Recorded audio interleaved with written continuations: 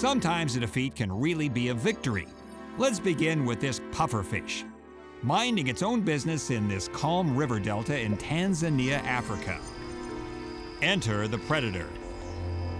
In this case, a river otter cousin to the Yellowstone sliders.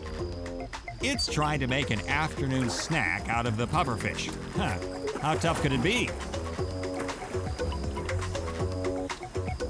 The otter captures the puffer. Uh, well, sort of. I mean, uh, not exactly.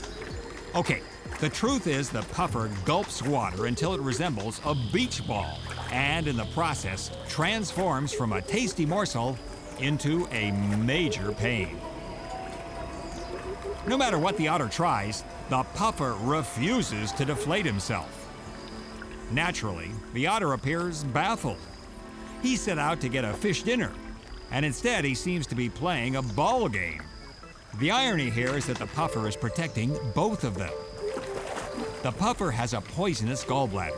If the otter actually ate the puffer, they both die.